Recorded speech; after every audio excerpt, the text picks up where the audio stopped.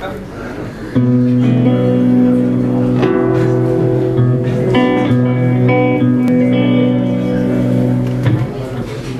se llama el pingüino de mi habitación.